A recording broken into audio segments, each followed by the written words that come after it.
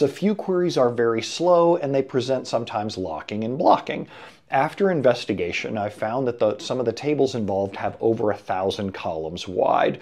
Could column store indexes be the low-hanging fruit for now while we normalize the database? No, if you are, uh, because locking and blocking, typically when people say that, it's inserts, updates, and deletes.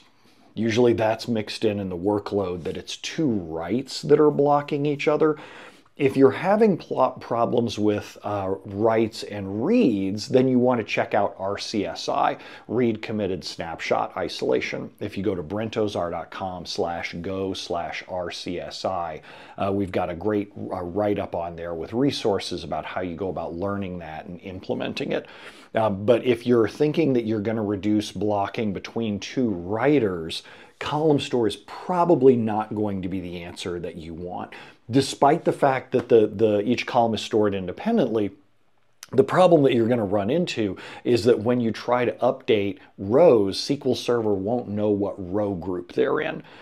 You can learn more about that in my column store fundamentals class. Honestly, though, I wouldn't take that. Take my word that Column Store isn't going to be the solution for you. If you don't believe me, go spend, you know, 90 bucks on my Column Store class, but otherwise, go hit brentozar.com slash go slash RCSI. That one's totally free, so go hit that one instead.